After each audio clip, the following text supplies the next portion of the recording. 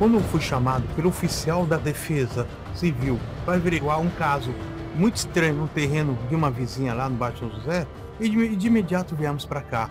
Pedi que ele fizesse um isolamento local e temos a imagem de como, fi, como ficou o local realmente quando ocorreram os fatos. E as fotos que mostraram depois foi depois do pisoteamento, já houve uma alteração.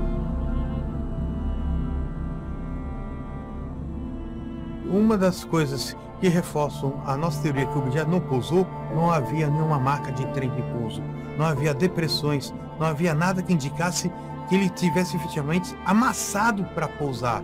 E toda vez que algo pousa, ele deixa uma marca, ele por causa do peso desse objeto.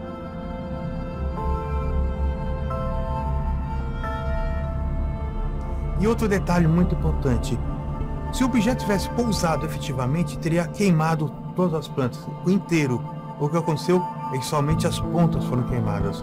E numa análise posterior, como o especialista falou, essa, essa queimação não é da própria planta. Alguma coisa incandescente acima de 100 graus queimou essas plantas. E outra coisa, a, o total do tamanho dessa marca ficou quase 15 metros.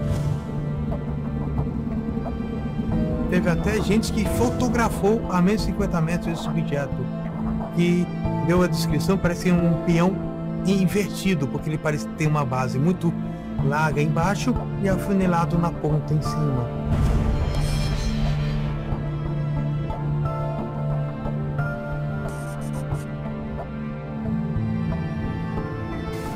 Paulo, então a partir desses acontecimentos é que foi criada a rota ufológica. Sim, logo em seguida, para o começo do ano seguinte, nós formulamos um tipo um roteiro para exemplificar casos de casuística. Foi uma série de acontecimentos onde as pessoas viram objetos estranhos, perto e de longe, até sobre o mar. Em certas regiões, principalmente onde se concentravam relatos.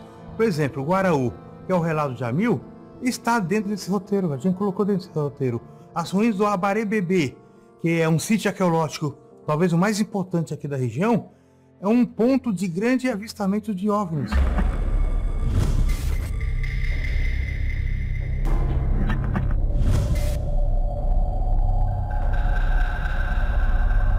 Testemunhas tanto de fora da ruína e dentro da ruína chegaram a avistar OVNIs.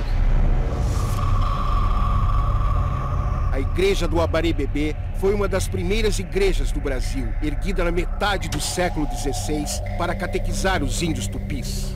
O mesmo povo dizia se comunicar com seres saídos de dentro de bolas de fogo. Tais relatos poderiam explicar a aparição de OVNIs nos dias de hoje? Luzes e naves que pairam acima do cemitério indígena e da antiga obra dos jesuítas?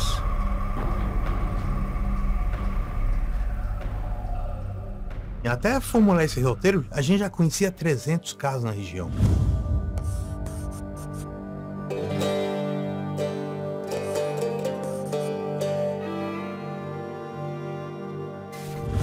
Paulo, por que, que tu acha que esses fenômenos ocorrem justamente aqui? Primeiro, tem a questão biológica que envolve a jureia. A, jureia tem espécimes de plantas e animais só existe aqui. É uma região endêmica de riqueza biológica. O banco genético é muito grande. Outra questão que eu acho que tem importância é a questão mineralógica. Por exemplo, o, alguns anos, o Departamento Nacional de Pesquisa Mineral soltou é, autorizações para prospecção de certos minérios. O último, que faz parte da Liga do Titânio. Que o titânio é uma, é uma liga estratégica.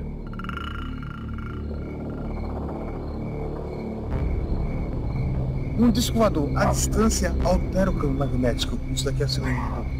Então, então ele tem esses mecanismos. E outra coisa que, que vale a pena enfatizar que houve um blackout aqui na região. Que momento foi esse blackout?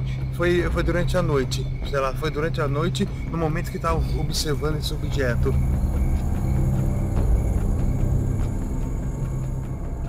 Inclusive, quase uma semana e meia depois, teve uma ocorrência envolvendo cachorros, onde alguns desses cachorros vieram a falecer com interferência muito estranha.